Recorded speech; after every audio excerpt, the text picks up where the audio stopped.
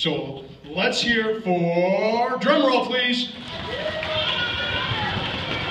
Let's hear for Jack Ford.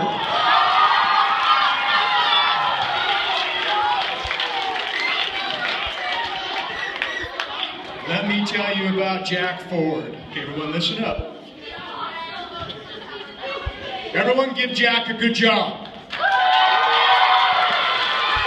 If you want to yell positive things at Jack, do it right now.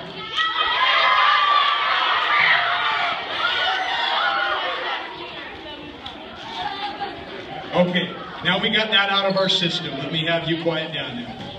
Let me tell you about Jack.